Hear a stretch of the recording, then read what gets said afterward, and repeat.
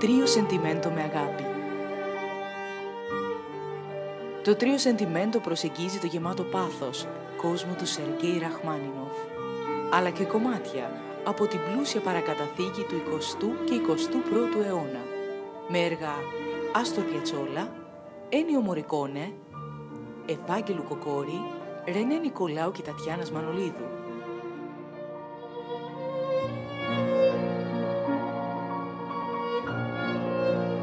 Από την κινηματογραφική ομάδα κλάσικους και το δύο Φίλιππος Νάκας για το δημοτικό κανάλι Άτικα TV.